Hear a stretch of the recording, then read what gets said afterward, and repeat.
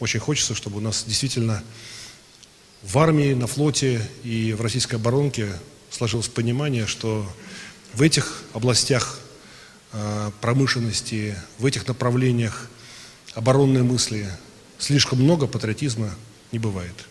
Поэтому приглашаем всех, тех, кто считает себя патриотом, кто говорит об этом без стеснения, идите работать к нам на оборонные предприятия, в военную науку, идите в армию, идите на флот, защищайте Родину. Не надо трещать и клювом щелкать.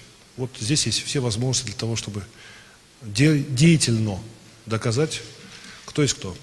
Оборонно-промышленный комплекс будет развиваться по строгому плану.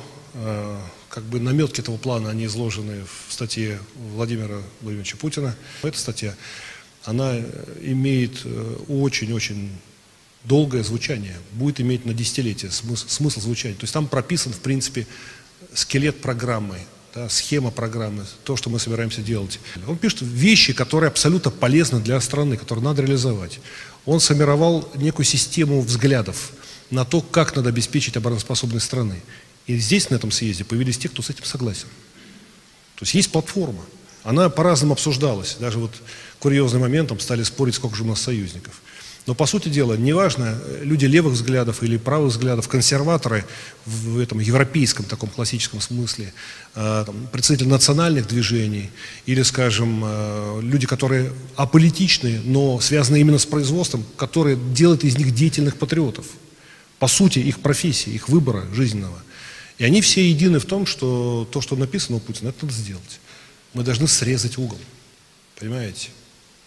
Посмотреть за горизонт, увидеть, что будет через 20-30 лет, как будет, будут складываться отношения в мире, а, какова будет роль России, на что мы можем претендовать объективно, с учетом наших экономических, политических, демографических, географических и иных возможностей. А, кто нам партнер, кто не очень. Что будет затеяно против нас.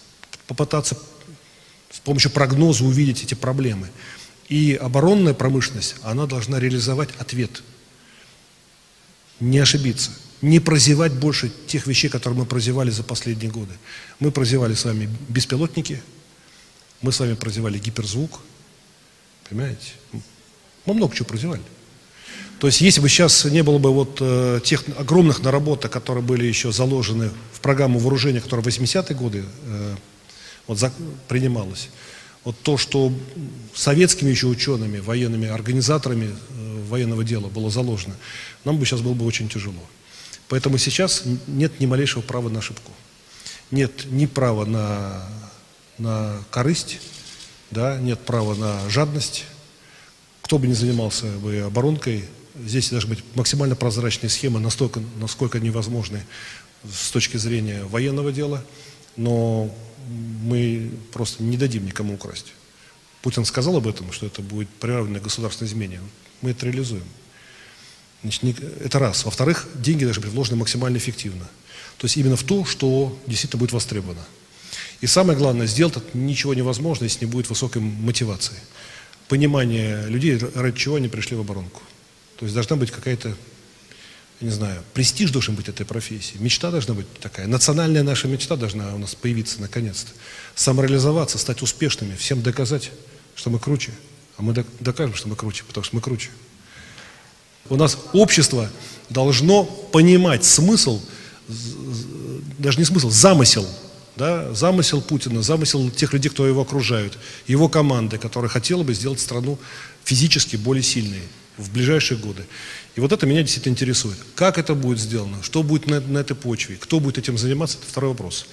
Я просто показал, что, э, как пример, да, что есть очень хорошие э, моменты соединения, контакта между обществом, э, между людьми, которые работают на конкретном производстве, создают конкретный продукт, интеллектуальный или промышленный, и теми, кто принимает эти решения. Поэтому я вам скажу, что нам сейчас будет проще все это реализовать.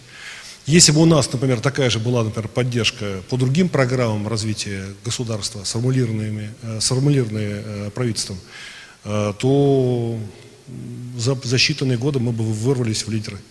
У нас сейчас задача действительно в рамках оборонно-промышленных э, стратегии стать по ряду наиважнейших направлений оборонной безопасности лидером, то есть добиться превосходства.